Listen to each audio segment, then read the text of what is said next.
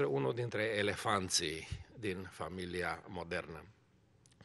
În această seară am uh, ales subiectul acesta și l-am numit așa, The Fine Family, pentru că, așa cum spuneam la începutul uh, serviciului din această seară, ori de câte ori ne întâlnim cu cineva uh, și auzim această întrebare, cum sunteți? De obicei răspundem, fine, suntem fine.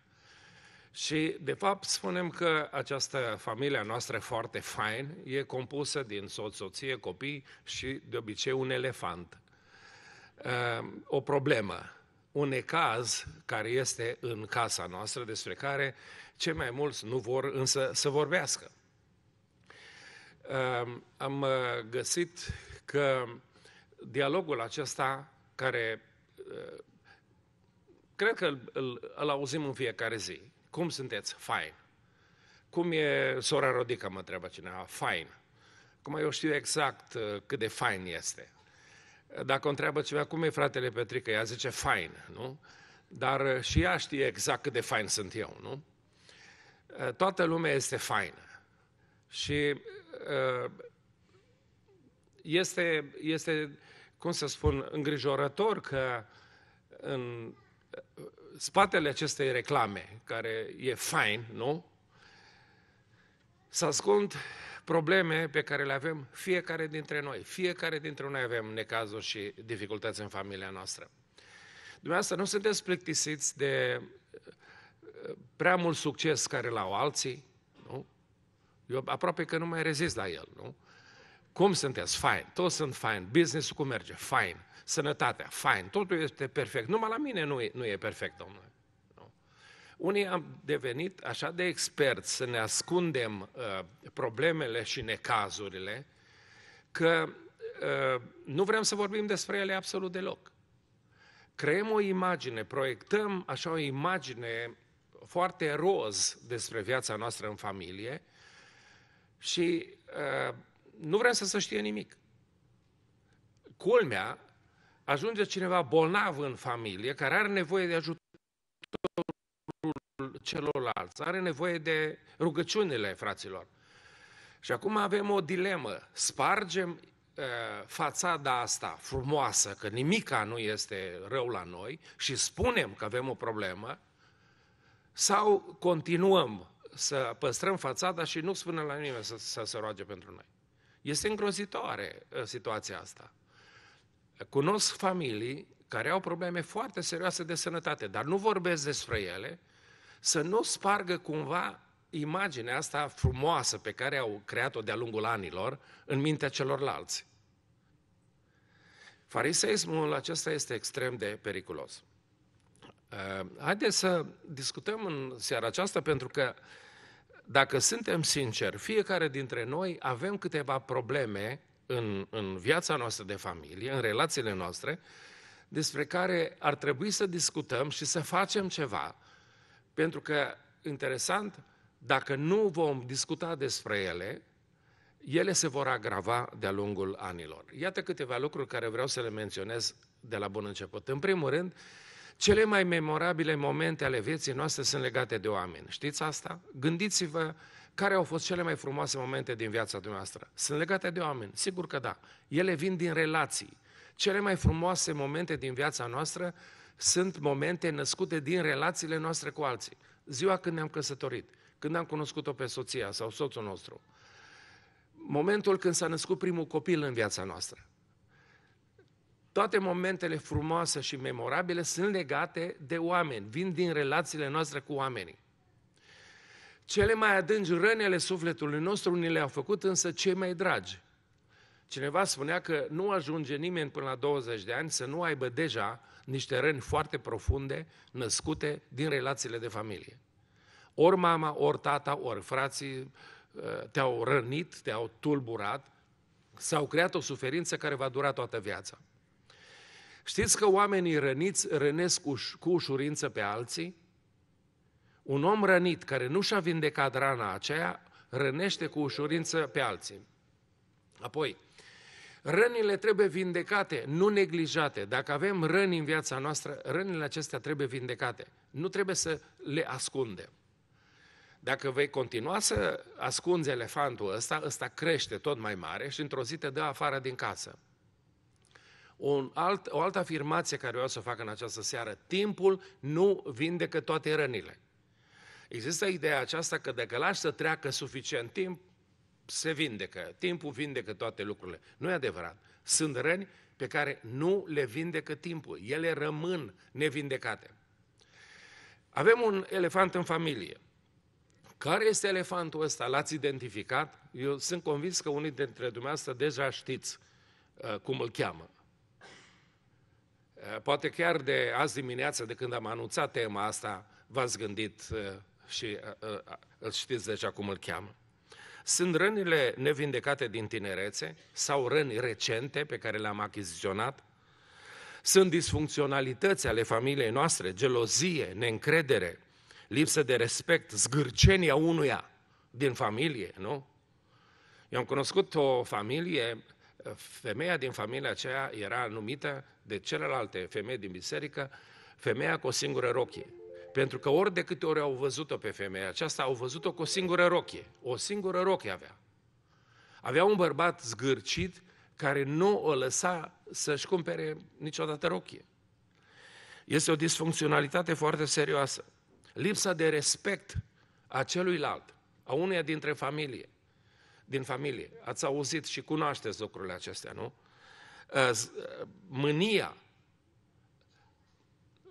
Știți că povestea cineva care zicea, domnule, eu, uh, uh, eu am o problemă foarte serioasă. Cum intru în casă, zice el, uh, pur și simplu, la cel mai mic semn, nevastă mea ia foc. Face scandal. Zice, la mine și mai grav. Cum poate fi mai grav? Zice, nici nu trebuie să zic ceva, că a mea pornește automat. pornește automat imediat. Nici nu trebuie să fac nimic, asta pornește automat. Mânia, abuzul, Uh, relațiile cu copiii, lipsa de respect față de părinți. Avem adolescenți în casa noastră, în familia noastră și știm bine cum se poartă. Mai ales fetele cu mamele. Este ceva îngrozitor. Cei care aveți copii mici, watch out. Um, abuzul um, părinților de către copii sau abuzul copiilor de către părinți, nu-i așa? Ce să mai vorbim de vicii ascunse și mai ales în casele pocăiților, nu-i așa? Da, dacă avem un soț care trage la măsea, nu? Eu cunosc pe cineva care îl acopere de o viață întreagă, tot acoperă săracul pe el, nu? Arată o familie onorabilă, dar elefantul ăsta este teribil. Tot, toate au mers bine până într-o zi, după ce a băut bine fratele, m-a sunat pe mine păstorul să-mi țin o predică zdravă, de tot. Ce mă, ce ai făcut mă cu biserica asta? plângea la telefon. Eu nu știam despre ce este vorba. L-am chemat la birou să vedem care e treaba, domnule. Când nu a intrat în birou, zice Petrică, ieri când am vorbit cu tine am fost beat. Acum era să pic eu de pe, de pe scaun, că nu mi-am imaginat vreodată așa ceva, pentru că au reușit să ascunde elefantul bine. Nimeni n-a știut de problema asta. Au reușit să țină elefantul foarte bine ascuns. Ce spunem de problemele de droguri, de uh, infidelitate în, în familie. Asta sunt elefanți foarte mari deja. Foarte urât mirositori. Uh, sunt însă familii, așa cum spuneam înainte, care se poartă cam așa. Stau cu elefantul la masă și zice, să fiu sincer, nu-mi place să vorbim de elefant. Dacă vrei, vorbim de orice altceva în afară de elefant. Nu? Vorbim de alții, de elefanții altora. Nu? Vorbim de orice în afară de elefantul nostru, de problema noastră. Uh, ce să vă mai spun că unii zic elefant, eu nu văd niciun elefant. Chiar dacă unul dintre soți are uh, curajul să vorbească despre elefant, celălalt are părerea asta, elefant? Eu nu văd niciun elefant. Problemă? Nu avem niciun fel de problemă în familia noastră. Atitudinile acestea fac să, să perpetue creșterea elefantului în, în familia noastră, ce să vă mai spun că elefantul este adus și în lumea business-ului, nu? Iată ce spune o angajată, un angajat zice, îl văd și eu, numai că nimeni nu-i place să vorbească despre el. În, în engleză există deja termenul consacrat în elephant in the room. Este un elefant în afacerea noastră, în businessul nostru, dar nimeni nu vrea să vorbească despre el. Ce să spun că unii le iau uh, pe elefant exact de la nuntă, acasă, îl iau la ei acasă și începe viața cu elefantul. Um, aici vreau să fac o mică uh, pauză și să spun că pentru sănătatea noastră fizică, ar trebui să facem câteva lucruri care sunt esențiale, să ne o păstrăm, nu? Să ne alimentăm corect. Un lucru foarte greu, mai ales în America, nu? Că orice cumperi, totul e chimizat, totul e, uh, totul e periculos, nu-i așa? Uh, să dormim suficient, să fim activi, să bem multă apă, zic unii, nu? Uh, mă rog, poate că mai sunt și alte reguli, dar astea sunt câteva absolut esențiale să duci o viață sănătoasă. Știți că pentru a menține sănătatea relațiilor de familie, e nevoie de câteva acțiuni foarte importante, esențiale, despre care vreau să vorbesc în această seară. Numărul 1. Prețuiește-l pe celălalt mai mult decât pe tine însuți. Numărul 2. Dăruiește mai mult decât cauți să obții din relațiile tale de familie. 3. Iartă ceea ce nu poți uita. Iartă ceea ce nu poți uita. Și 4. Lasă-L pe Dumnezeu să schimbe oamenii. Dacă în seara asta o să învățăm astea patru lucruri, sunt sigur că o să gonim uh, câțiva elefanți din casele noastre uh, dacă ne ținem cu credincioșie de aceste lucruri. Haideți să uh, mergem un pic mai departe și să începem să discutăm prima din aceste lucruri. Prețuiește pe celălalt mai mult decât pe tine însuți. Prețuiește pe celălalt mai mult decât pe tine însuți. Ce vrea să spună uh, afirmația aceasta? Iată că ea este luată din cuvântul lui Dumnezeu. Nu faceți nimic din duc de ceartă sau de slavă de ceartă, ci în smerenie, fiecare să privească pe altul mai presus de el însuși. Fiecare din voi să se uite nu la foloasele lui, ci și la foloasele altora. Nu numai la folosul tău, ci și la folosul celuilalt. Acum, în lumea asta a businessului modern, se vorbește foarte mult despre uh, filozofia aceasta win-win.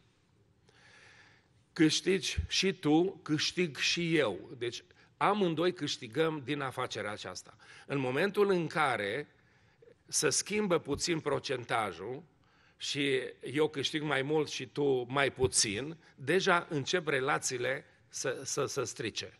Încep relațiile să se strice. Să știți că lucrul ăsta se petrece și în familia noastră. În momentul în care, în relațiile mele cu soția mea, eu încerc să câștig mai mult decât dăruiesc, nu? Decât ea, procentajul meu să fie mai mare, în momentul acesta să strică relațiile de familie.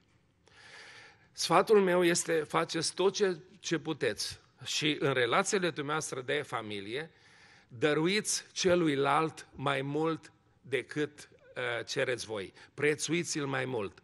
Dumnezeu îl vede pe, pe ființa asta mai importantă decât pe tine însuți. Fă ceva și dăruiește respect celuilalt mai mult decât pe tine însuți. Cu te respecti pe tine însuți. Este o ființă creată după chipul și asemănarea lui Dumnezeu.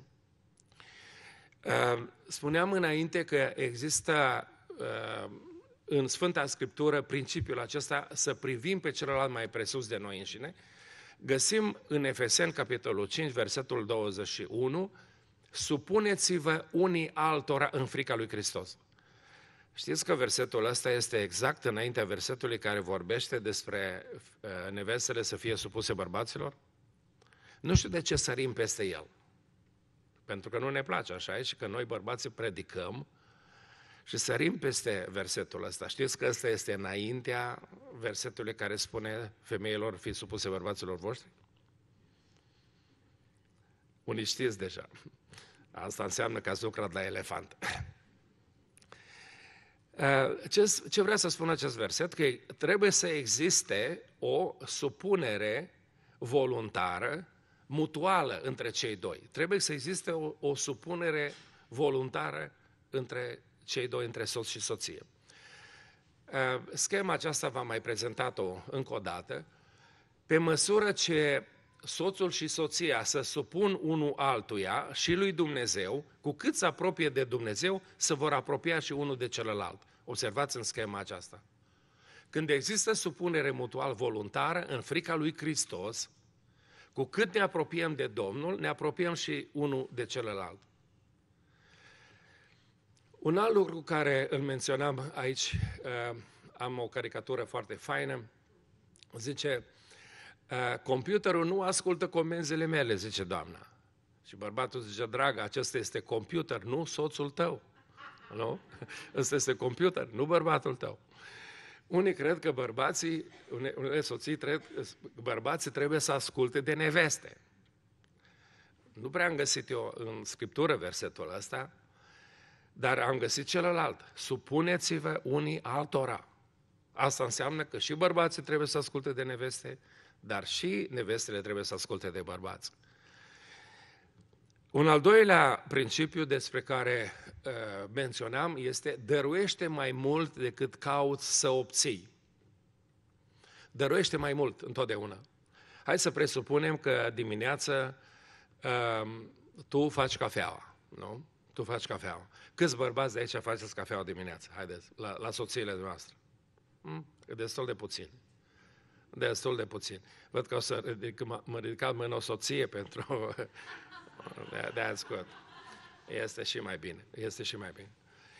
Uh, bun, hai să, hai să spunem așa, s-a gătat uh, the half and half. Okay? S-a gătat the half and half. Nu este numai pentru o cafea. Într-una trebuie să pui lapte chior. Nu? Și în galonul care l-ai în uh, frigider, stă de cam multă vreme în frigider, ar trebui aruncat. Acum urmează să decizi în care cafea pui de half and half și care laptele la vechi, nu? Uh, o să spuneți asta sunt lucruri mă- mărunte. Sigur că da. Dar toate lucrurile mari încep cu alea mărunte. Sunt convins că fiecare bărbat de aici pune de half and half în cafea soției și lui nu-și pune nimic, așa -i? Praise God. Așa este. Aveți un bagel pe care l-ați prăjit, nu? Și vreați acum să-l împărțiți. Când mergi cu cele două farfurii, știți că unul e partea din față și unul partea din spate, nu? Da. Partea de deasupra e plină cu semințe, arată grozav, nu? Care îl dai la soție? Nu? Sunt convins că îl dați partea cea mai bună de fiecare dată, așa e? Altfel, nu mai mâncăm la 12 acasă, mâncăm la sora McDonald's. Ehm, dar în cele mai mici lucruri, întotdeauna gândește-te la celălalt. Dacă slujești, dă lui mai mult decât aștepți tu să primești. Dacă faci asta, toate relațiile tale de familie vor, se vor vindeca. Lucrurile acestea mici, până la lucrurile mari, okay? spun că persoana aceea este mai importantă pentru tine decât tu însuți. Um, gândiți-vă la dumneavoastră ca și mame. Um, când faceți breakfast la copiii dumneavoastră, pleacă la școală, nu-i așa? Mama întotdeauna spunea, domnule, când îi văd că mănâncă, eu m-am săturat. Mie nici nu mi-e foame, nu-i așa? De unde este sentimentul ăsta? Este bucuria de a dărui, de a sacrifica pentru celălalt. Când iubești pe cineva, atunci ești gata să faci sacrificii pentru celălalt, renunți la tine de dragul lui. În toate relațiile voastre de familie, încercați să dați mai mult decât încercați să obțineți.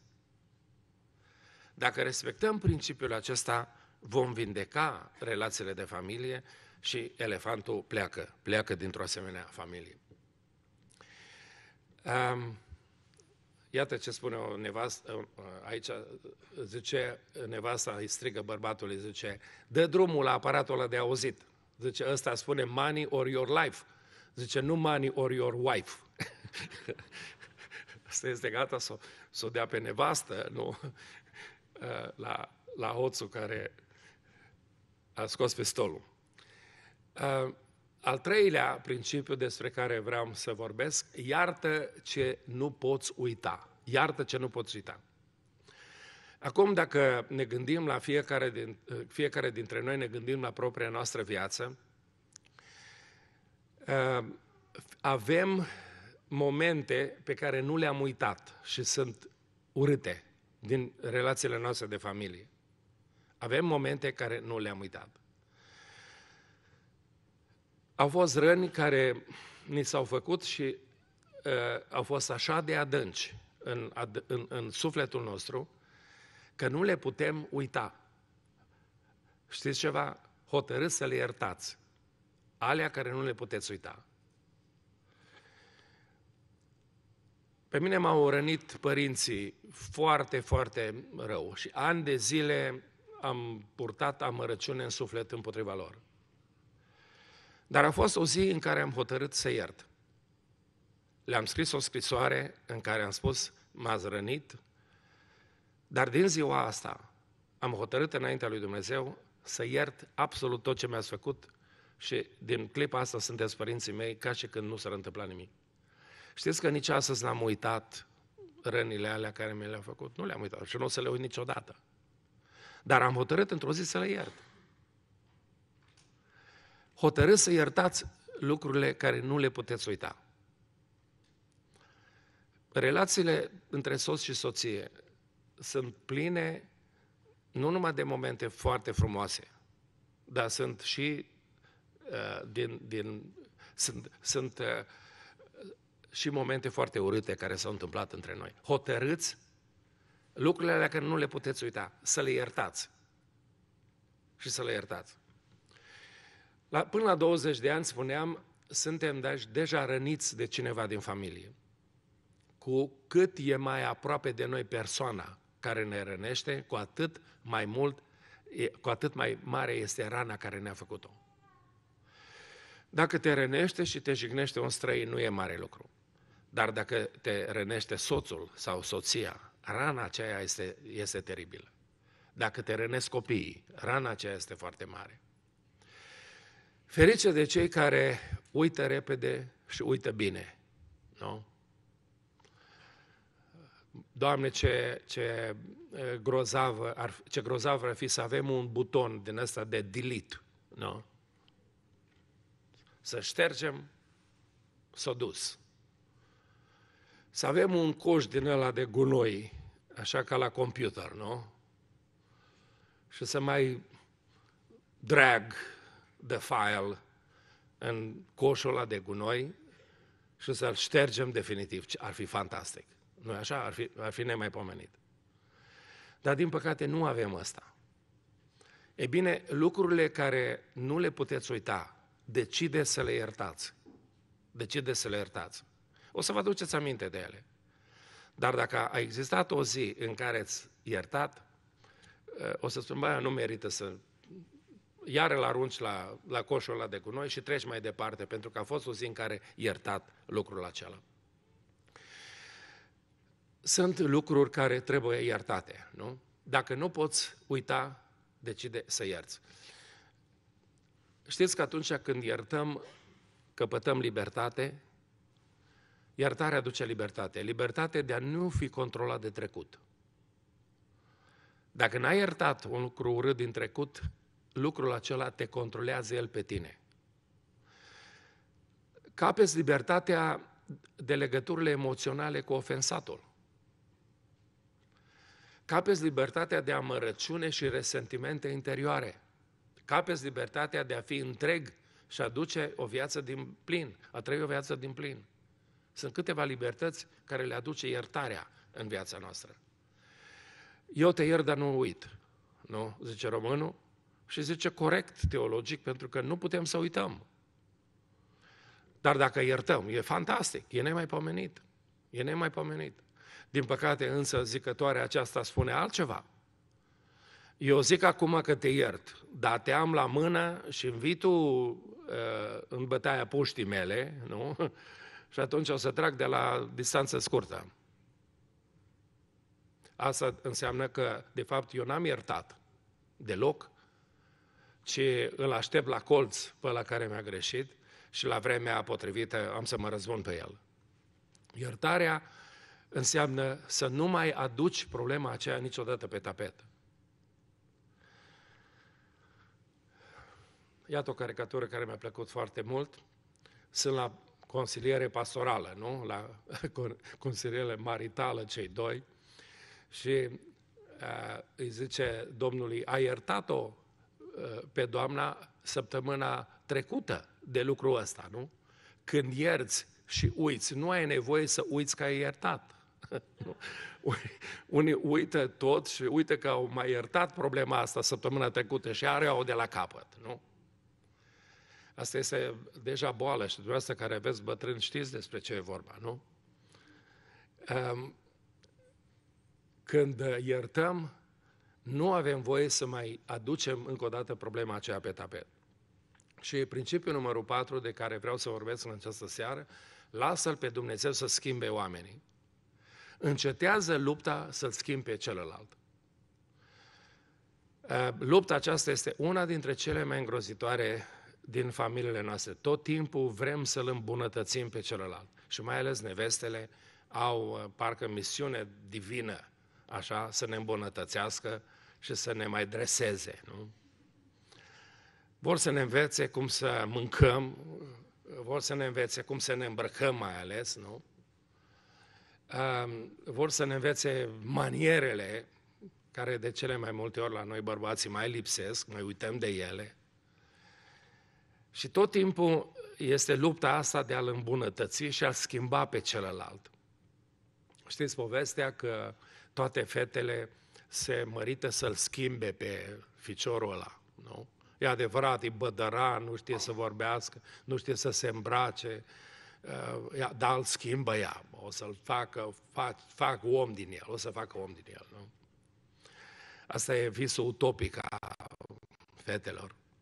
Băieții, când se căsătoresc, uh, spun că nu vor să se schimbe domnișoara aia frumoasă, subțirică, nu, vor să rămân, o să rămân așa, o să aibă grijă să rămână așa, aiurea.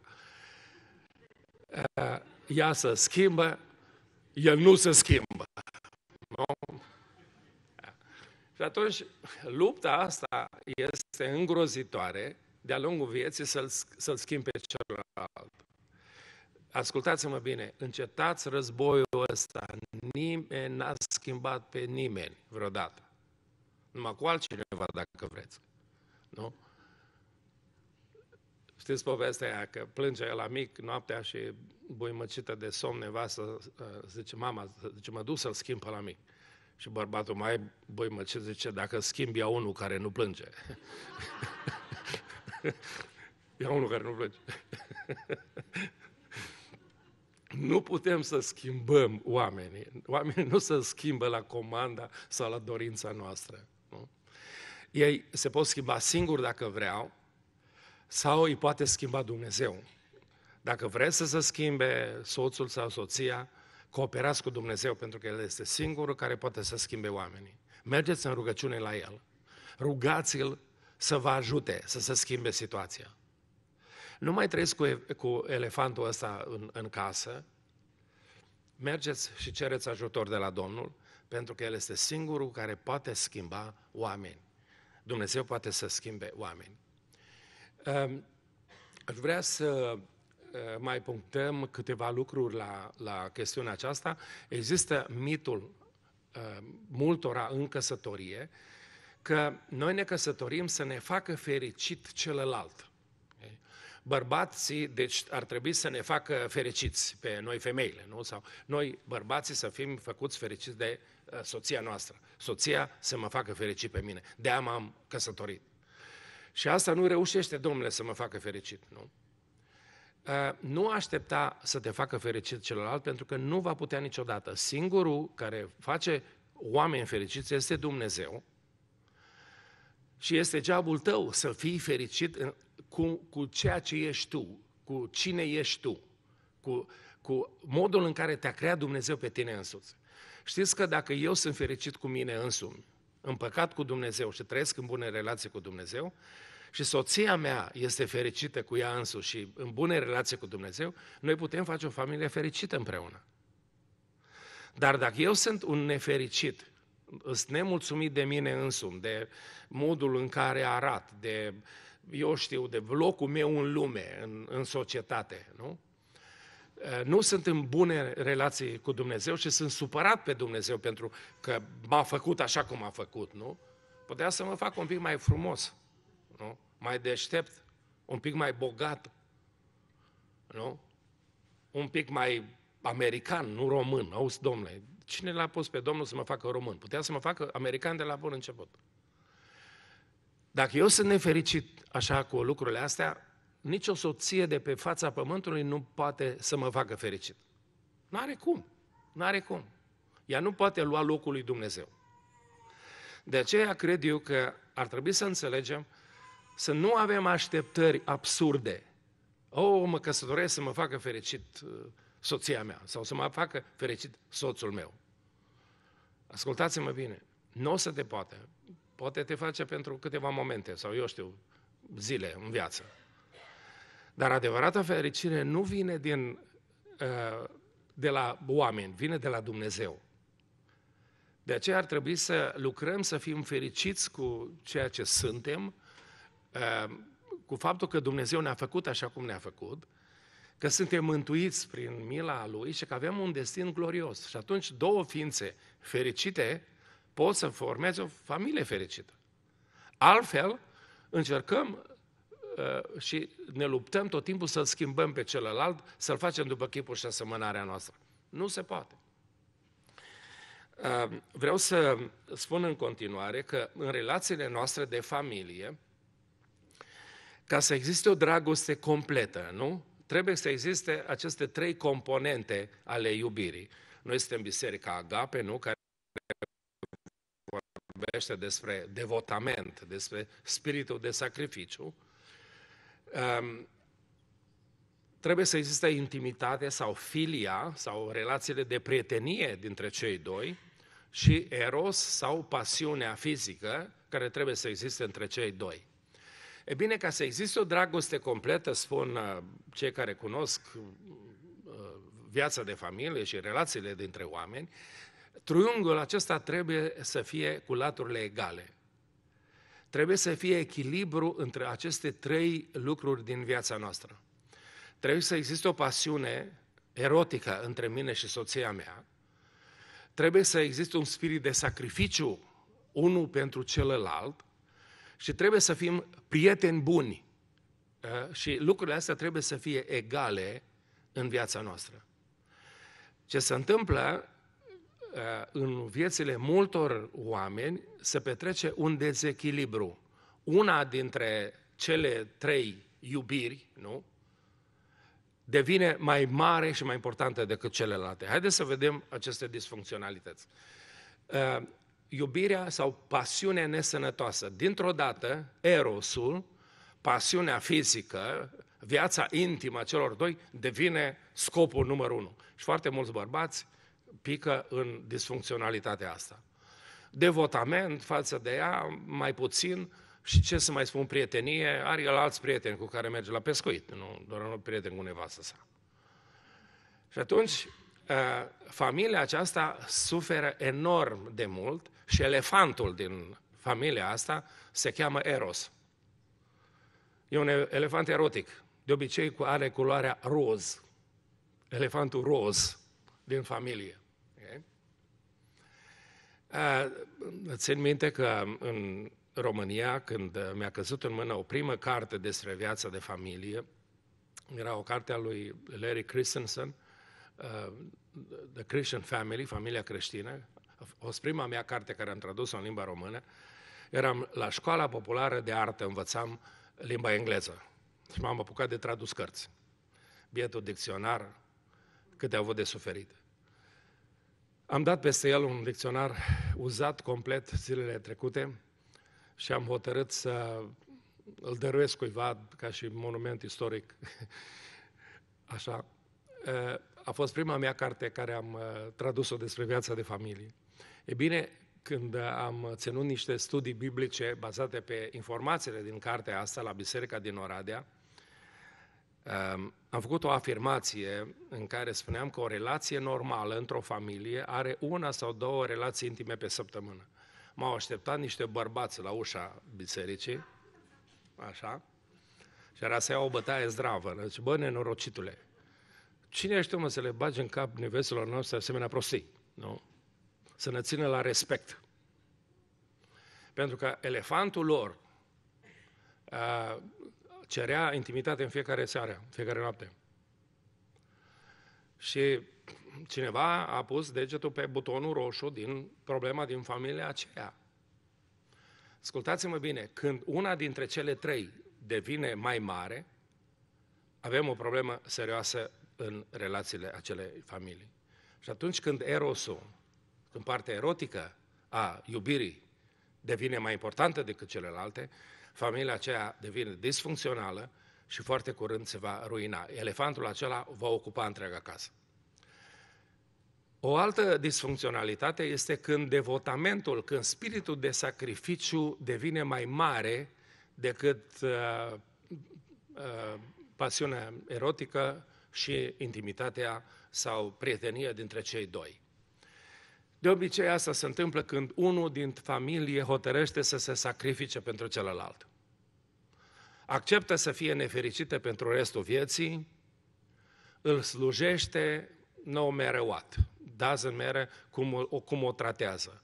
Vorbește bădăran, nu se spală, uh, mănâncă, știți dumneavoastră ca cine, uh, ea a hotărât să rabde, nu contează ce, se sacrifică pentru el, îi spală hainele, îi face de mâncare, se supune la toate caznele, nu are niciun fel de comentariu.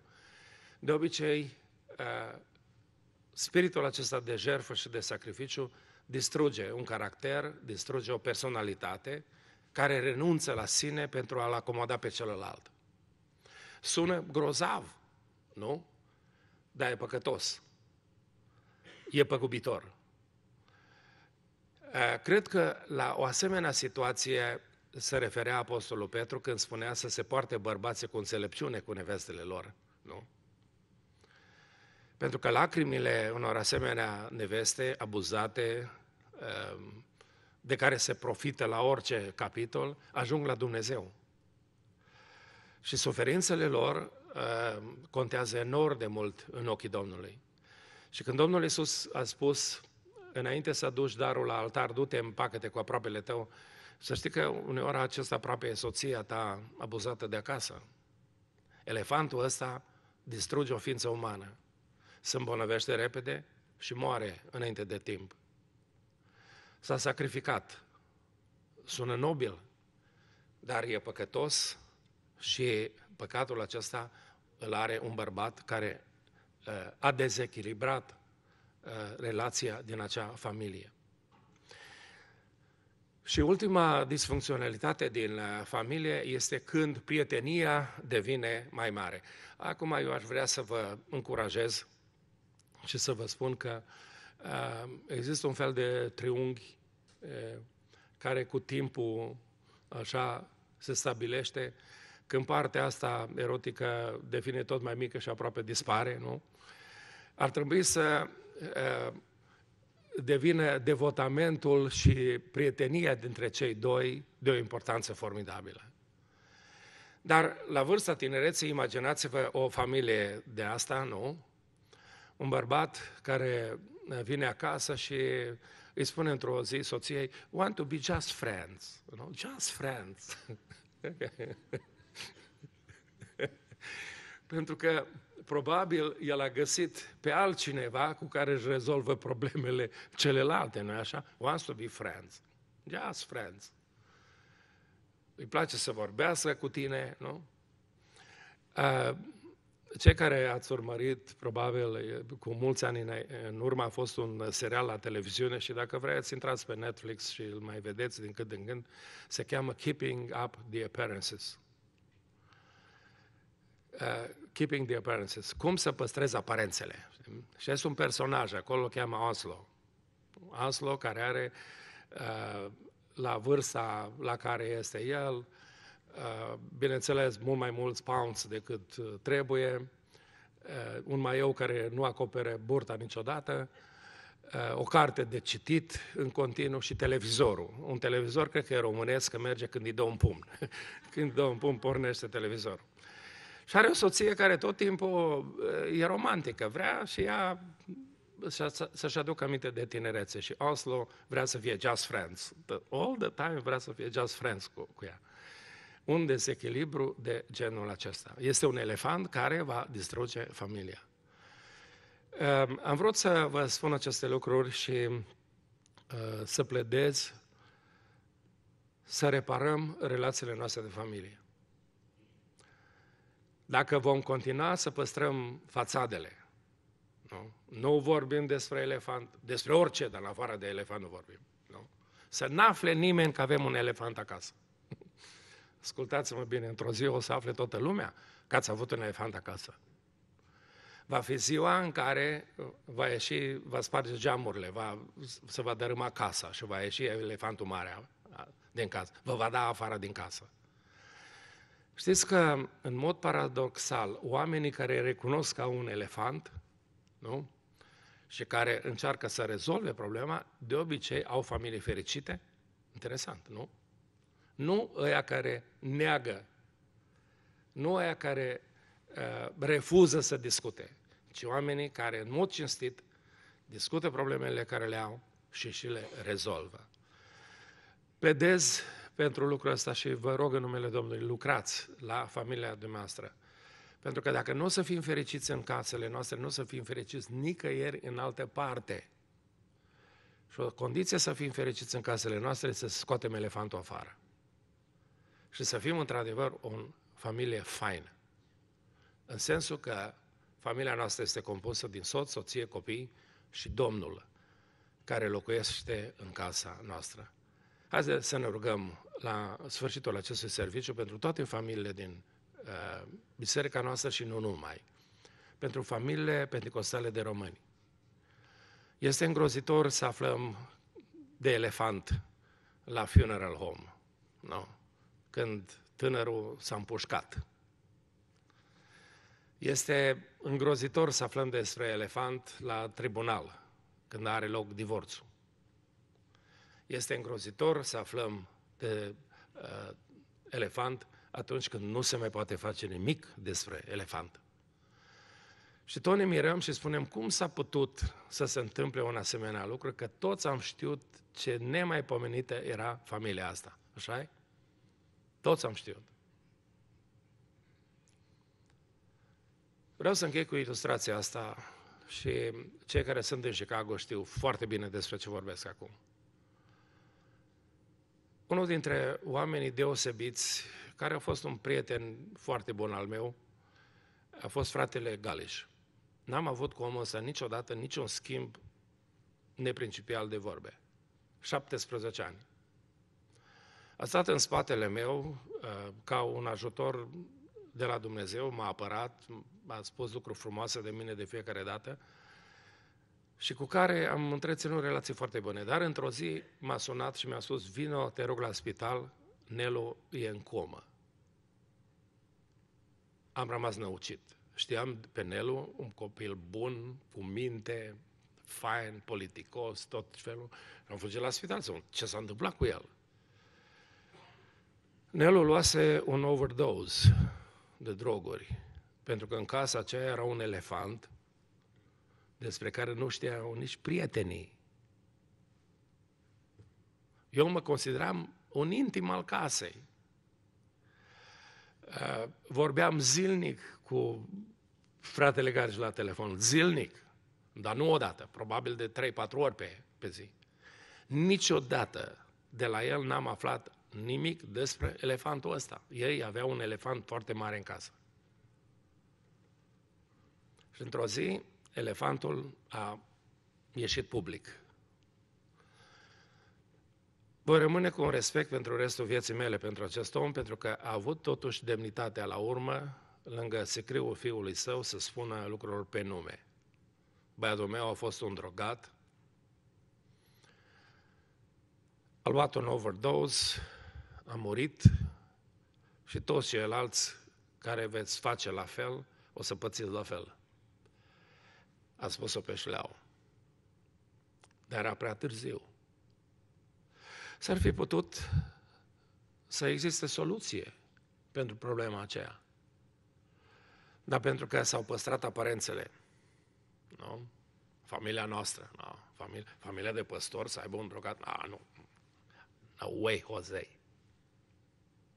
Și într-o zi și de elefant afară. Ascultați-mă bine. Spuneți-i pe nume într-o zi. Cereți ajutor. Discutați despre el.